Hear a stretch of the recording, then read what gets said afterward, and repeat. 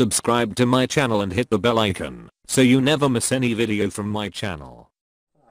بسم الله الرحمن الرحيم الحمد لله رب العالمين وصلى الله على محمد وآله الطاهرين ولعنة الله على آدائهم أجمعين إلى قيام يوم الدين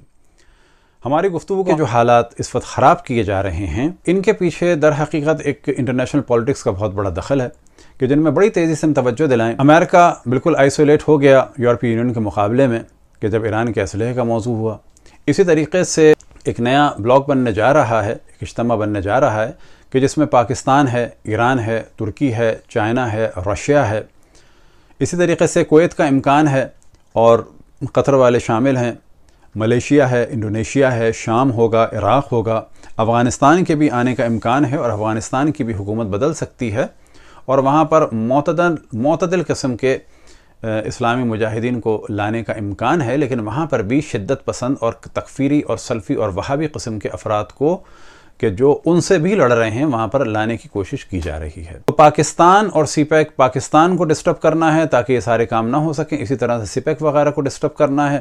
اصل جو موضوع ہے اس وقت وہ ہے کہ عرب کیونکہ اس وقت زائنس کی گود میں بیٹھے ہیں اور پوری عرب دنیا ان کے ہاتھ میں جا رہی ہے، زمین بھی ان کے ہاتھ میں جائے گی اور ان کے مناوے بھی ان کے ہاتھ میں جانے والے ہیں۔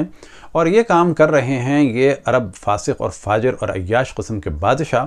اور ان کو سپورٹ کرنے والا کبھی امام کعبہ جیسا درباری مولوی ہے سدیس، کہ جس نے اس غلط معاہدے کو اسلامی طریقے سے ڈسکس کرنے کی اور سپورٹ کی کوشش کی۔ تو کبھی صالح مغامسی ہے۔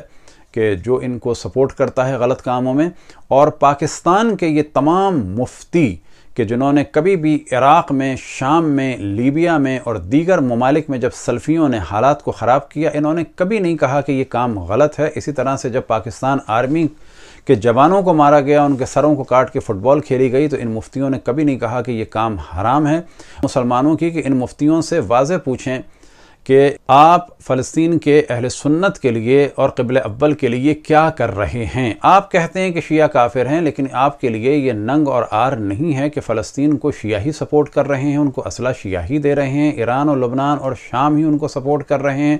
لیکن آپ اور آپ کے عرب ممالک اور آپ کے یہ سلفی اور وہابیوں نے کبھی بھی ان کو سپورٹ نہیں کیا، نہ پیسے کے اعتبار سے، نہ کسی اور اعتبار سے، اور نہ ہی پاکستان سے کبھی آپ نے بیٹھ کے ان کے لیے، ان کے مورل کو ہائی کرنے کے لیے فتویٰ دیا۔ ہمارے تمام مسلمانوں کو یہ چاہیے کہ ان علماء سے واضح فتوے کو طلب کریں، فلسطین کی مظلوم عوام کے لیے کہ جو اہل سنت ہیں اور ان کو شرم دلائیں کہ یوم القسط منانے کا حکم دیا امام خمینی نے کہ جو ان کے نزدیک رافضی ہیں یا کافر ہیں۔ سوال یہ پیدا ہوتا ہے، قبل اول کا دفاع کافر کر رہے ہیں تو تم بغیرتوں کی غیرت کہاں گئی ہے کہ تم اس کا دفاع نہیں کر رہے؟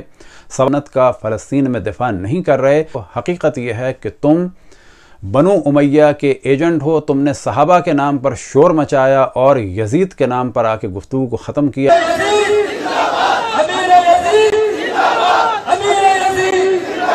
تمہارا اصل ہدف یہ تھا کہ فاسق اور فاجر اور زانی اور شرابی یزید کا دفاع کیا جائے اور وہ تم نے کر کے دکھا دیا۔ تم لوگوں کا ہمیشہ یہ وطیرہ رہا کہ تم لوگوں نے فتوے دیے کہ ذکر حسین اگر ہو تو اس کو روکو، ان پر حملے کرو۔ یہ سننا حرام ہے۔ سوال یہ پیدا ہوتا ہے، فسق و فجور اور شراب اور ہزار قسم کے گناہوں سے نکاح نہیں ٹوٹتے۔ تم نے فتوے دیے کہ جو حسین کا ذکر سنے جو حسین کی مجلس میں جائے، جو علم کو دیکھے، اور جو ان چیزوں کو دیکھے، اس سے نکاح ٹوٹتے ہیں۔ لوگوں نے کبھی یہ نہیں کہا کہ حسین مظلوم تھے۔ اگر تم مانتے ہو رسول اللہ صلی اللہ علیہ وسلم کو، کون؟ یہ درباری قسم کے مولوی، یاد رکھیں، ان میں سے بعض مسلمان بھی نہیں ہیں۔ یہ بے دین ہو چکے ہیں۔ یہ بالکل دین سے نکل چکے ہیں۔ یہ دربار میں رہ رہ کے حرام کو حلال کر کر کے، حلال کو حرام کر کر کے مسلمانوں کے بہتے ہوئے خون کو دیکھ دیکھ کر ان کے دلوں سے ایمان نکل چکا ہے۔ ساتھ ہی آپ صرف ایک سوال ان سے کریں کہ کہاں لکھا ہے، کس کتاب میں شیعوں کے لکھا ہے کہ رسول اللہ صلی اللہ علیہ وسلم پر وہی لانے میں جناب جبرائیل نے غلطی کی، عقیدہ کس شیعہ کتاب میں لکھا ہے؟ کہاں لکھا ہے کہ شیعوں کا قرآن بکری کھا گئی؟ جبکہ یہ روایت جناب عائشہ سے سنن اپنے ماجہ میں ہے، جب انہوں نے فتویٰ دیا تھا، بڑی عمر کے افراد کو دودھ پلا کے محرم بنایا جا سکتا ہے، جب ان سے سوال ہوا کہ یہ کہاں ہے، تو انہوں نے فرمایا، قرآن میں یہ آیت تھی اور رسول اللہ صلی اللہ علیہ وسلم کے بعد جب ہم مصروف ہوئے، تو میرے بستر کے نیچے قرآن تھا، بکری آئی اور اسے کھا گئی، اسے ہم نے تفصیل سے ڈسکس کیا کو ہمارا لیکچر مل جائے گا، کس کا قرآن کس کی بکری نے کھایا۔ اب آپ کو تعجب ہوگا کہ اسی طرح سے چالیس پاروں کا موضوع سوال کریں کہاں ہے؟ ساتھ میں آپ دیکھیں انٹرنیشنل پالیسی میں ان کا کیا دخل ہے۔ انہوں نے کبھی اسلامی ممالک کا دفاع نہیں کیا، ہمیشہ اسلامی ممالک کو نقصان پہنچایا۔ یہ پاکستان کے وجود میں آنے کے خلاف تھے، اسے کافرستان کہتے تھے۔ یہ قائد اعظم محمد علی جناح رحمۃ اللہ علیہ کے مخالف تھے، انہیں کافر اعظم کہتے تھے۔ اور اب یہ پاکستان کے وجود اور سالمیت کے خلاف ہیں۔ ان کے لوگوں نے پاکستان آرمی کے سروں کو جدا کر کے فٹ بال کھیلی، انہوں نے کبھی فتویٰ نہیں دیا۔ خداون تبارک و تعالیٰ سے دعا ہے کہ تمام مسلمانوں کو متحد ہونے اور مل جھل کے پاکستان کی اور تمام اسلامی ممالک، حتیٰ عرب ممالک، یہ سب ہمارے ہیں، ان سب کی حفاظت کی توفیق عطا فرمائے۔ بعض دفعہ بھی سعود عربوں کی مخالفت کی جاتی ہے۔ عرب حاکم الگ ہیں، لیکن یہ مملکتیں ہماری ہیں، ان سب کی ہمیں حفاظت کرنی چاہیے اور دعا کرنی چاہیے۔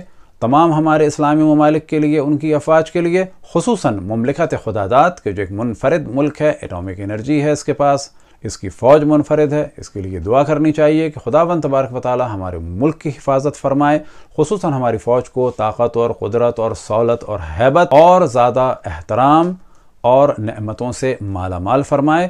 وصلی اللہ علیہ محمد و طاہرین